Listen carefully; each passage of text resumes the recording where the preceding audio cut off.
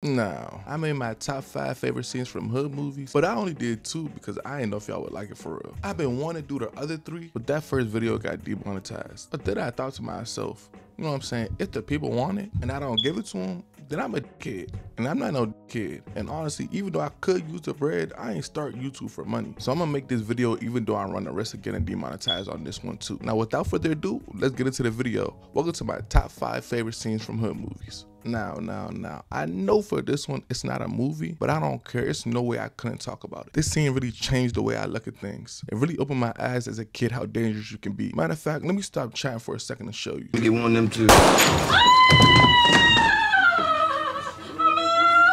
Now, for those of y'all who never watched The Wire, I very highly suggest you should watch it. Honestly, in my opinion, it's the best show of all time. I'm not even jazzing it. But in this TV show, Omar was a person that everybody feared. Matter of fact, let me not say everybody. The people who was feared feared him. The drug dealers and gangbangers, he would come through and rob them while whistling to pretty much alert them that he's there, but he will still be able to rob them. So in this TV show, he felt untouchable. Like as a viewer, it felt like he was Superman. So for him to be smoked by an 11 year old kid really opens eyes. Cause Omar would not let that happen if it was anybody else. He let his guard down because a kid seems harmless. But even nowadays in the hood, kids be 10, 11, 12 tone guns, robbing people, people. But as a man, you don't expect kids to be dangerous. So he pretty much put his guard down because of natural instinct. And that shows kids are just as, if not more dangerous than men in the hood. Not even to take it into a fact that kids don't even understand consequences for real. So a kid could smoke you and not even think about what comes next. And Kenard did get arrested and locked up after the scene. Now I know I'm putting Menace to Society in this list twice, but it is my favorite movie after all. Caine's death scene was really insane to me because Caine was literally trying to lead the hood. But the crazy thing is he was messing with his OG's baby mother. I'm not gonna lie, that sounds like it should be breaking some type of code. But yeah, he was trying to lead the hood. But something he did really caught back up to him. And that's really a fact of life, bro. You could really do something, forget about it, but it has a bigger impact on somebody else. And they really just holding that grudge in their mind. And it's so heavy, they're like, nah, nah, I gotta do this. Like, I'm not gonna be a head ass and say I have ops, cause I don't, bro. I be chilling now. But I really, really be scared that something from my past is gonna come back to bite me. Cause it literally happens all the time to people. Or somebody who just doesn't like you and don't like to see you doing good. And when I say it happens, it happens, bro. Look at these rappers out here. Like low key, bro, if you making it as a rapper, your neighborhood might love you, but you really gotta dip out because you never know who's really hating on your success. All right, all right, I'm yapping. Let me get back to the point. But Caine is really trying to better himself. And because of something he did earlier that week, I'm not gonna lie, now that I think about it, Caine is low-key a kid. He hit a joint, she said she was pregnant. He said that joint is not mine. I'm pregnant. Well, what the you telling me for?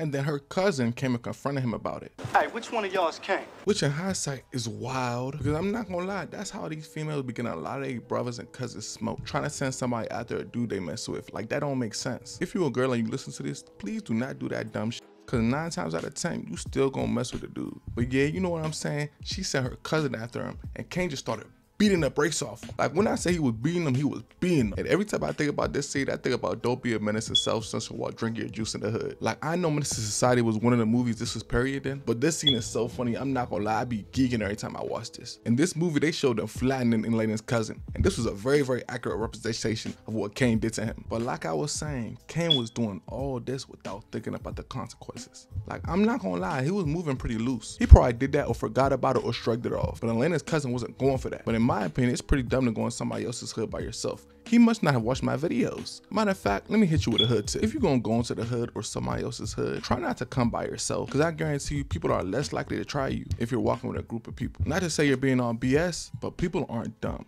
they know their chances of coming out on top is less the more people there are. So with all that being said, the lesson here is a lot of the times when you try to move out the hood and better yourself, there will be things from your past that will bring you down. Cause in the whole movie, Ken was really struggling. I wanna say with like being a good person. Like you seen with O-Dog, O-Dog had no struggle. O-Dog was always like that from what we seen. Cause O-Dog had the type of violence that just had to be in you. Bro, he killed a crackhead for asking him to give him top. Suck your Come on, man, just hook me up. The f you just say, nigga? Yeah, I understand that was a raw request, but a fiend is a fiend. They gonna do anything to get some drugs. Man, I said I suck your Come on, man, let's get the fuck.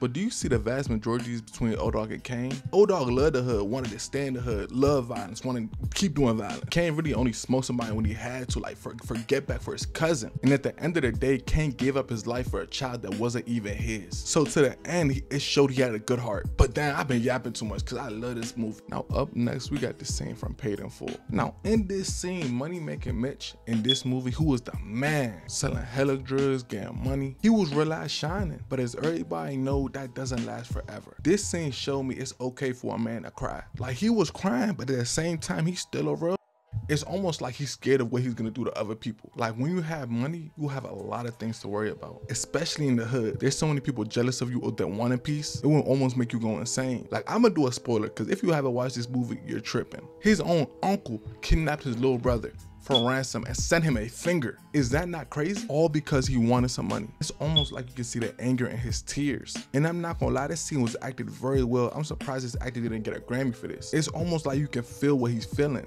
He's pretty much saying no more Mr. Nice Guy. He said he about to be on some real murder. Anybody even look at him wrong they gone. His little brother was like his whole world. When you surrounded by people who only want something from you, someone like that you're gonna hold very dear to your heart. Owes me money or ever said any jealous shit about me is dead. And I'm not gonna lie, bro, crying on command like that, that's tough as hell. But this man was really, really, really going through it. And he talking to his gun man showing nothing but emotion just laying it all out there. He not going for none of that no more. He don't, he don't care what he got going on. Because people really be jealous and be trying to mask it. Like, yeah, yeah, you doing good, bro. I see that. They, they, that means they want what you got. So he's saying anybody try to be slick, try and try and be sly, he not going for none of that no more, bro. It's over. It's done for. Because all of that led to this moment. Matter of fact, let me show you a clip of what his uncle said to him before. Bullshit. I see you shining. I can smell a motherfucker with money. Like that's that's pure jealousy, bro. From his own uncle, his own uncle, a grown man, OC grown man, couldn't get money, and now he really leaning on his nephew, trying to fake tease him. You know what I'm saying? Saying, "Yeah, I know you got it."